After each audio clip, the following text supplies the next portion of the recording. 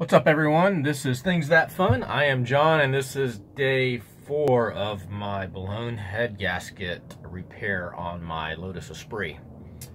Today I got some bad news that um, there is no record of what shims go where on my engine. So that means I have to start from scratch and figure out uh, which ones go where. Almost all of them are mixed up for the exhaust or every one of them. I have no idea which one goes where two of them were swapped on the or mixed up on the intake but I'm going to check them all just to be on the safe side so. I think I've got everything I need. And ready to go. Um, I've got the head supported here. Uh, I'm going to be cleaning up the uh, cam tower bolts. I have all these shims labeled the followers labeled.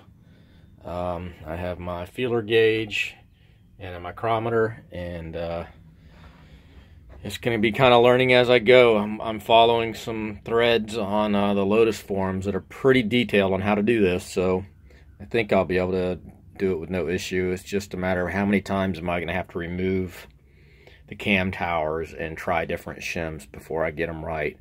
And are any of the valves worn or the shims uh, compressed since they were done?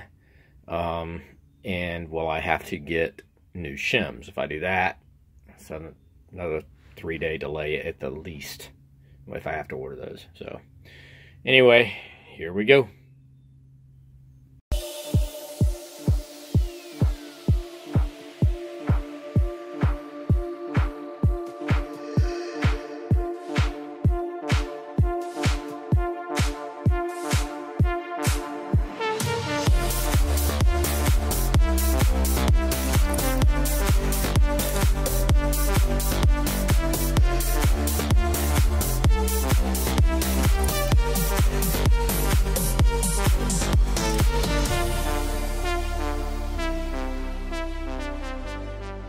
All right, I'm done for the day.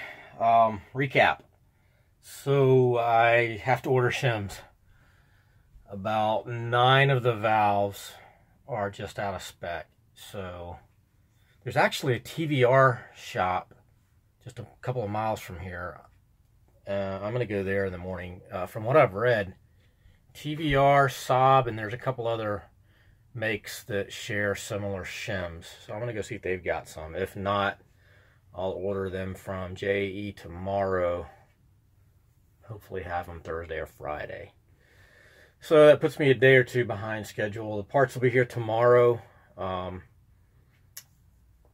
I could go ahead and put the head on, but then I'd end up having to put the shims on the cam towers and checking those one last time on the vehicle. So I'm not going to do that. I'll just wait.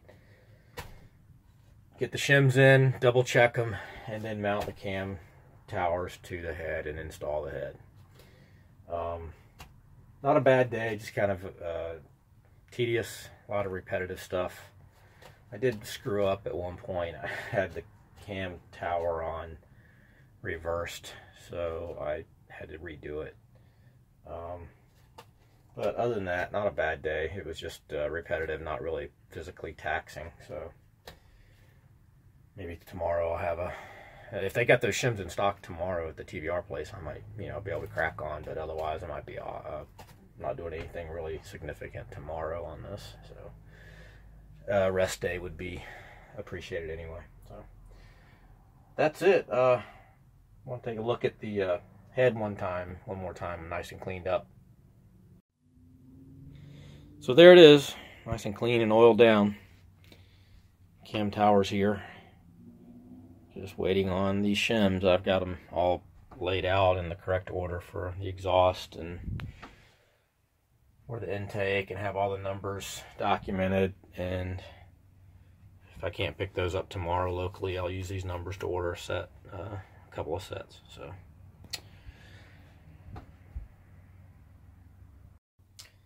So hopefully the next uh, video will be